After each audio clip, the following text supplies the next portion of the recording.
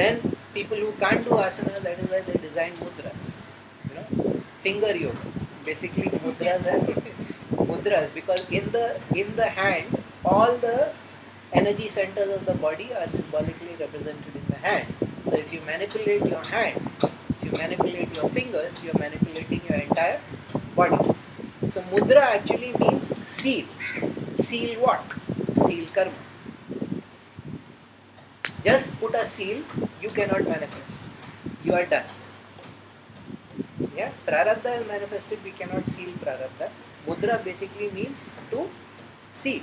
So they have experimented, of course, most of it comes up in meditation, not in experimentation, but they also experiment.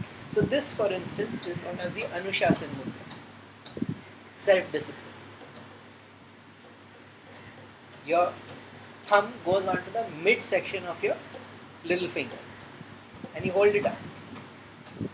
And you hold it up.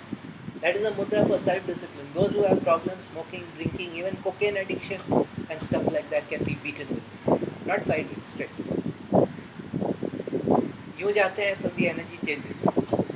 Yeah. So basically try to hold near your shoulder and hold up.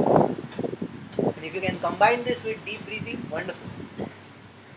So this, see, addictions are deep negative karma.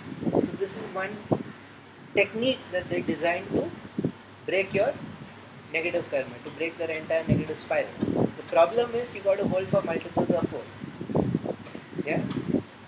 4, 8, 12, up to 48.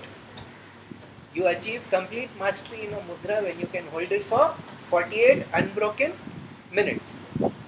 You're not going to be able to do it because your hands will pain. yeah? Such radiating, shooting pain will happen in your wrist and your fingers and everything that you will break it. But they have actually found that it helps deep addictions.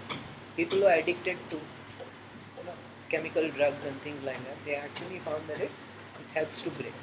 So these are all the kind of technologies that the Indian yogis designed. They kept experimenting with the body because in the end the karma works through the body. So they realized that the body needs to be placed into certain possibilities.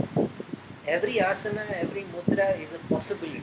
If you place the body in that possibility, then certain inevitable things follow. Certain inevitable things follow. And they found out that this vibration of 4 is very important because 4 is Venus, it's the creative number.